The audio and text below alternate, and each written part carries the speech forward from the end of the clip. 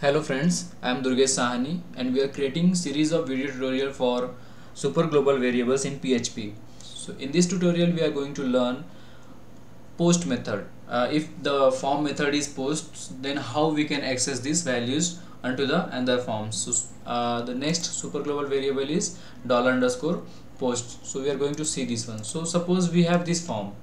We have this form and I'm going to make the changes into the same file. So suppose here method is post okay? And here we have some values like I'm going to create one more uh, one more field here. Name and mobile like this. We have two values.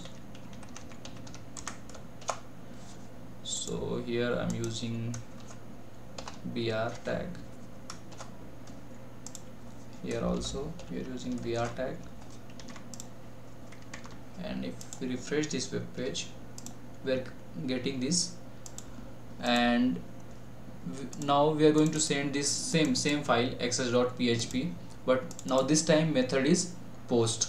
So if we are going to run this program the same as same like so if you are writing anything here and we are sending it so see we are not able to see the value here right? So if you if there is no value we are not able to access uh, that value with the help of dollar underscore get what we have here. So we have to change it with dollar underscore post. So the here the difference between dollar underscore uh, uh, get and post method is get always send value into the url parameters.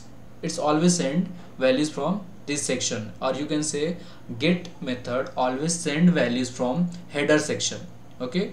If you see this browser so brow this line is dividing your browser into two parts. First one is header section and second one is document section. So get method always send your values through header sections. And post method always send your values from this document section. That's why it is not visible to user. Another difference you can say as it is uh, visible inside the URL so it is uh, if somebody uh, standing beside behind you so he can uh, easily access see your values what you are sending and and all. So there is this concept of security you can say security concern. Then third uh, you can say uh, in url parameters you can send limited amount of data. And in post method you can send huge amount of data uh, another example you can say uh, difference you can say in get method you can send only textual type of data whereas in post method you can send uh, any type of data like images and all you can send uh, attachments you can send with the help of post method. So we will see uh, that concept also. So let's uh, see how to access the post method values. So suppose we want to access this value this form value into here okay. So what we are going to do here uh, we are going to use post sorry capital letter post. Here also we have to use post. And we have one more values here. Uh, let's do it like this. Name